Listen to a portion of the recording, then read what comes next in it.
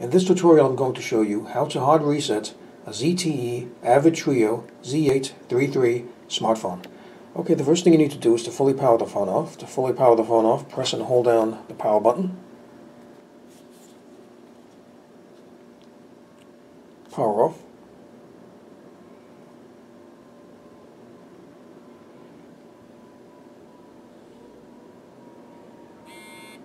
Okay, with the phone fully powered off, you need to press and hold down the power button and the volume up button at the same time until the screen turns on. Once the screen turns on, then let go of both of the buttons. Okay.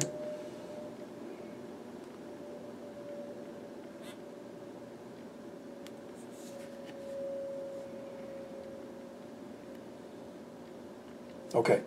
Now the next thing you need to do, using the volume down button, go to wipe Data, Factory Reset.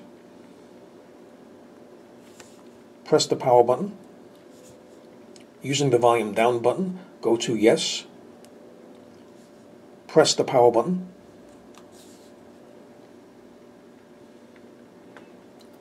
Press the power button.